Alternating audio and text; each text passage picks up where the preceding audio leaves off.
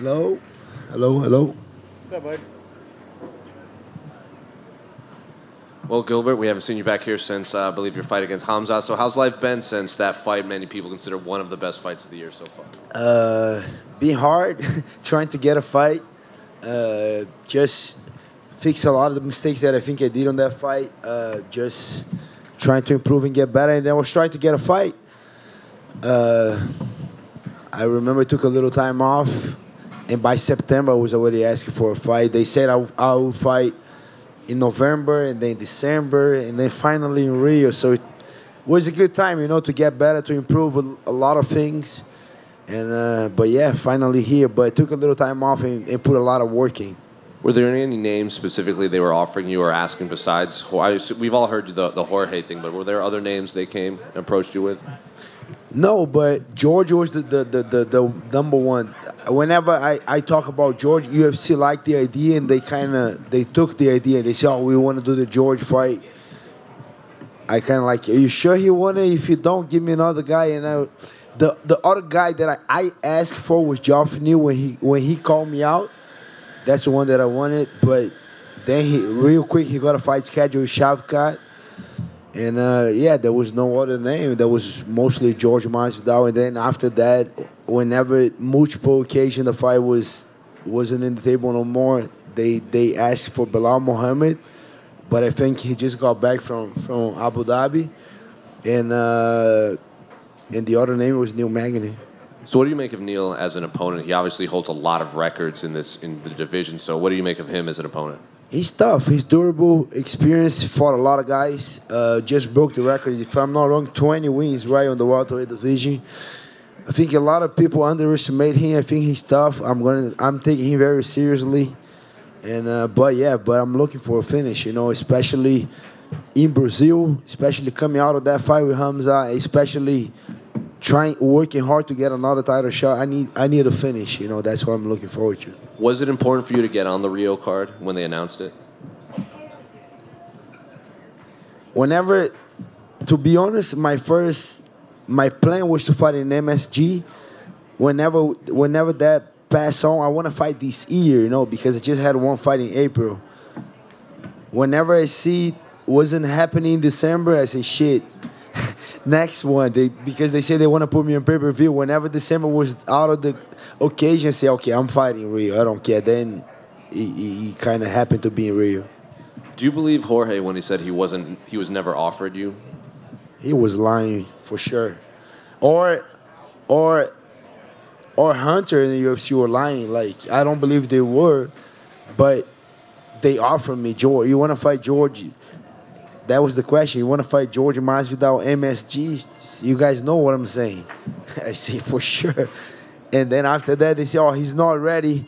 We can make that in uh, December 10th." I say yes. And after that, oh, George told us he's gonna fight you in Brazil, and I said no, he didn't say it. Oh, he said that, and I said okay, shit.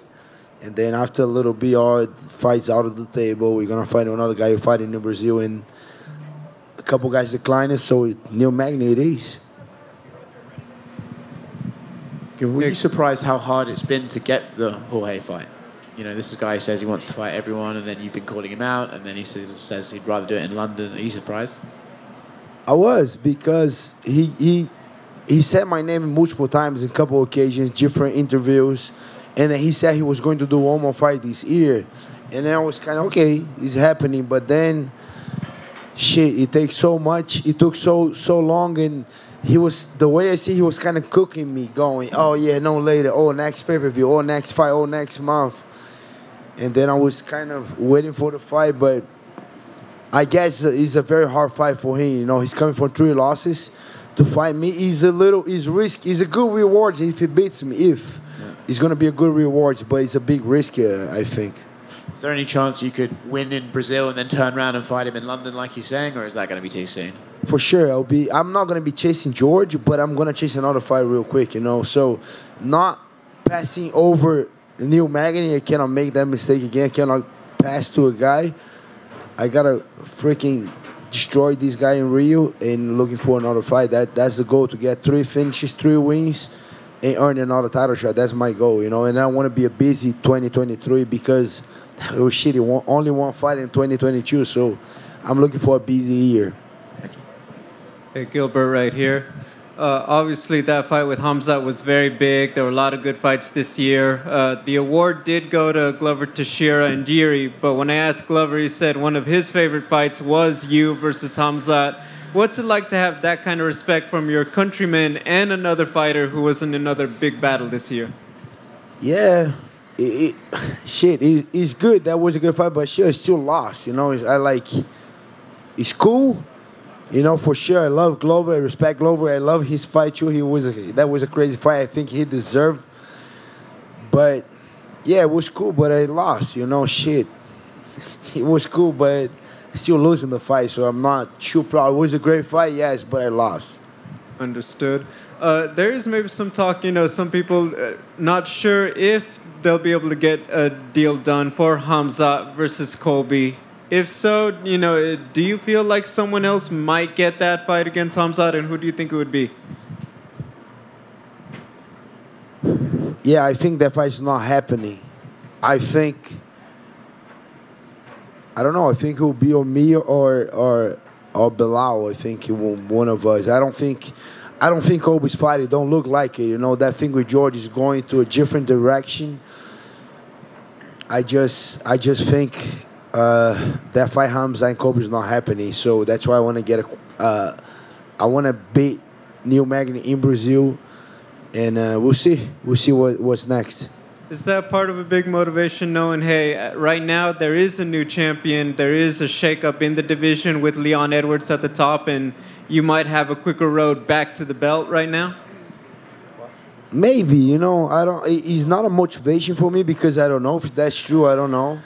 I just believe I gotta do my job right now. I gotta beat the shit on Neil Magny in Brazil. I gotta get another fight. I gotta beat the shit on this next guy. If they if comes out or, or Colby's not available, I'll beat another guy and I'm gonna earn the title shot. That's my goal. Three three great finishes to get another title shot. Doesn't matter who, you know. Thank you.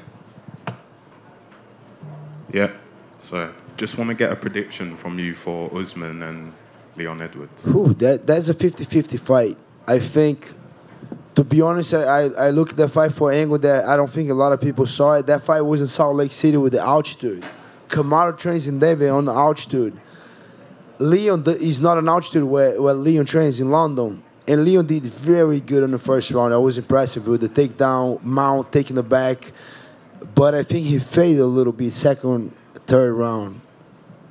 Now going to the second fight, there's no altitude in London. That's freaking Leon's house, you know?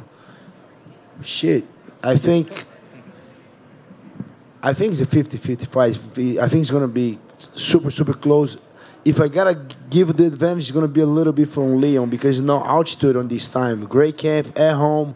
He even said that he didn't feel good, and he did what he did the way he did. I give. I think it's gonna be a 50-50, maybe a little bit more to Leon Edwards. I think he's in a good momentum right now. He's young. He's hungry. Shit, yeah, I'm gonna keep my eyes on this fight. And Gilbert, just a quick one for me. Thanks for taking time. You know, when you fight for the title, you're winning. People recognize you. They notice you. But sometimes, off of losses, people get that just just as much notoriety. How more popular were you off of that Khamzat fight, and people giving you props that it was a war, and it just you just were a household name even further? Yeah, I think after that fight, the popularity got a little up. I'm not gonna lie, it did, you know. But Hamza said that was because of him, but I think it was because that freaking right hand right here, my heart, my cojones, and everything that I put on that fight. I don't think it was because of him, but I think it was because of me taking the fight that I shouldn't take, the risks that I shouldn't take. I did, and I put everything on the line. And he thought it was gonna be a, easy night. It was a freaking hard night, you know. And then I think that's why people recognize after that fight, like I sh- I didn't have to take the fight. I took anyways, and and and I, I put everything on that fight. Thank you, sir, and good luck in Brazil. Thank you. Thank you, guys.